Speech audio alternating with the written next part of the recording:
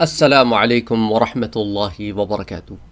ایک اور مسئلہ جو ہمارے ہاں دیکھنے میں آتا ہے کہ جب کوئی بڑے لوگ فوت ہوتے ہیں، جو مشہور ہوتے ہیں لوگوں میں، ان کا تعلق کسی بھی مذہب سے ہو، مسلمان ہوں یا نہ ہو، کھلے مشرق، کھلے کافر، کھلے دہریے، کھلے عیسائی، کھلے یہودی، کسی قوم و مذہب سے ہوں، تو فوراً لوگ مسلمان جو ہے، خاص طور پر اپنے سٹیٹس کے اوپر یہ ان کے بارے میں کچھ جملے لکھ کر آر آئی پی لکھ دیتے rest in piece rest in پیس دعائیہ کلمات ہیں۔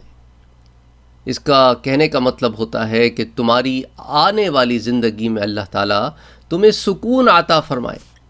ایک انسان جو کافر تھا مشرق تھا، اس کے لیے اس طرح کے دعائیہ کلمات کہنا قرآن کی رو سے جائز ہے۔ آئیے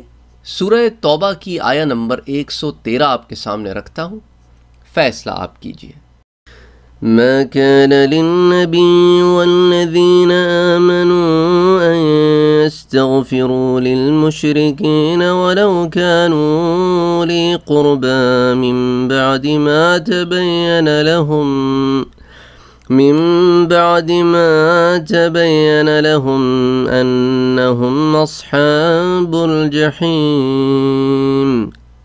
پیغمبر اور مسلمانوں کو شایع نہیں کہ جب ان پر ظاہر ہو گیا کہ مشرق اہل دوزخ ہیں، تو ان کے لیے بخشش مانگیں۔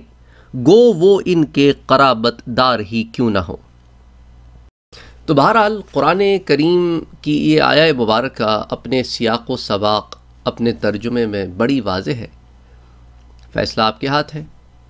السلام علیکم ورحمۃ اللہ وبرکاتہ۔ اگر آپ نے ابھی تک ہمارے چینل کو سبسکرائب نہیں کیا ہے تو سبسکرائب کا بٹن دبائیں، بیل کے آئیکن کو پریس کریں تاکہ آپ کو ریگولر نوٹیفیکیشن اپڈیٹ مل سکے اور آپ ہمیں ہمارے لائیو سیشنز میں بھی جوائن کر سکیں۔ ویڈیو پسند آنے کی صورت میں لائک شیئر اور کمنٹ کرنا نہ بھولیں۔